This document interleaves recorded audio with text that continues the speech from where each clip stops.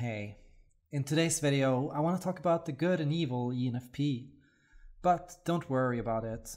I don't feel any judgment or negativity and I think all ENFPs just have to figure out their own way.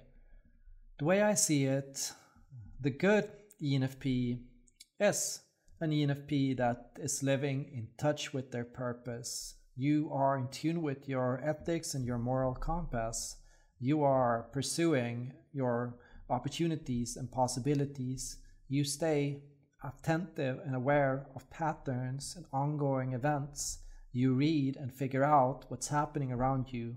You stay a step ahead of everyone else. You're a detective, a champion, a person that expresses and speaks out for what you believe is right. An evil ENFP then is a person that actually doesn't know, that is not aware of how they live and what they are doing. You are too caught up in all the chaos, in all the chaos of what's happening around you. You don't know what's going on. You don't know what patterns are emerging. You don't surf on or predict the trends that are happening around you. You are merely experiencing and being thrown around in the jungle that is indecisiveness you don't know what decision to make or what opportunity to pursue. Instead, you find yourself going back and forth between all of them. You can't judge which opportunity or possibility is the best or which one is right. You just find yourself either not choosing any of them or trying to hold on to all of them. When other people do things, you do it as well because you don't trust yourself in your own compass. You surf on what everyone else is doing, what everyone else is saying. You get caught up, tossed around. Uh, there are things being told to you about what's right and wrong, and you don't trust yourself and your own gut feeling, so you follow and do what the crowd does. The evil ENFP is a person in the grip of their autopilot. ENFPs that don't know their purpose and that don't think about their actions and the things that they do live meaningless lives and do meaningless things. And to do meaningless things is to do evil.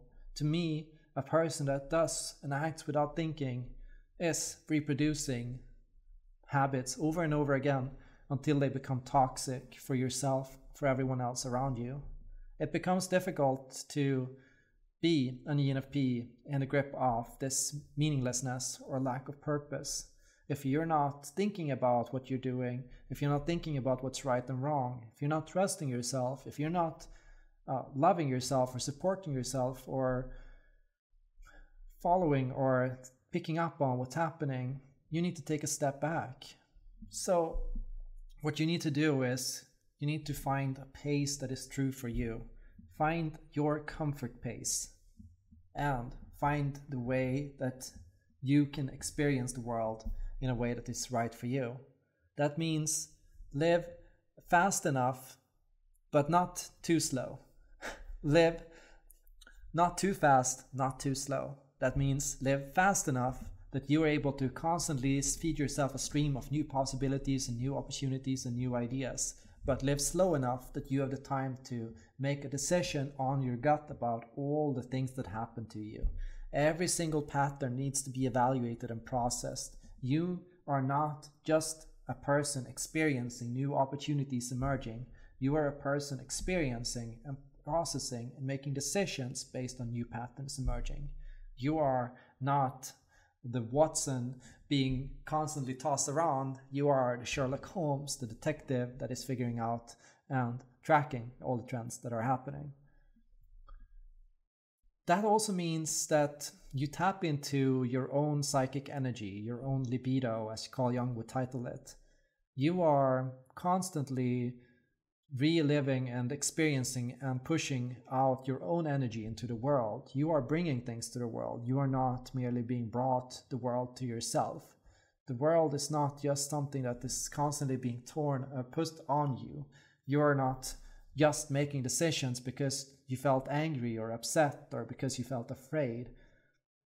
You don't run from a relationship as soon as it gets difficult in order to find something easy or fast. You don't find yourself uh, second guessing every new opportunity or possibility or jumping back and forth between all of them because all of them sound great.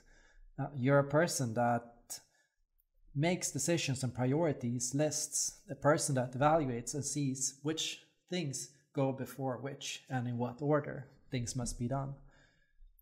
There is a flow to creativity. It's not just chaos, even though we might sometimes feel like it is. Yeah, sometimes an ENFP might feel like everything is chaos, but your goal is to feel like the world is a roller coaster.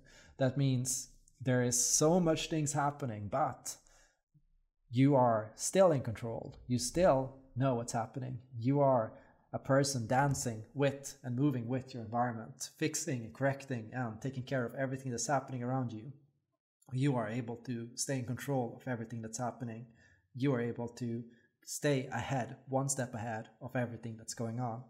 Not too many steps, just enough steps to know that you're aware and present in what's going on when you chase too many possibilities, when you live too fast, when you do things too quickly, everything becomes extroverted sensing.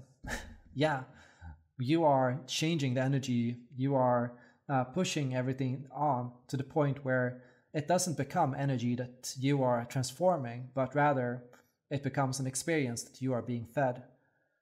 When things are too slow and when uh, nothing is happening and when you are too indecisive to make any decision and when everything just becomes a possibility or an expectation for the future you and your energy is becoming in the grip of introverted sensing that means the stress the anxieties of what and what ifs keep you from moving forward first learn to see extroverted intuition as your engine second learn to see introverted feeling as the fuel. Third, learn to see extroverted thinking as the steering wheel. Finally, learn to see introverted sensing as the brakes. So, learn to properly navigate all of these things.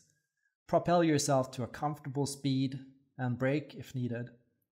Steer and steer clear of things that you don't need. Avoid opportunities that aren't for you. Let go of things that aren't for you and move towards what is for you. What do you think? What do you think it means to be an evil ENFP compared to being a good ENFP? What do you think about my definition of an evil ENFP as a thoughtless one? Thank you for watching and hope to see you all in my next video.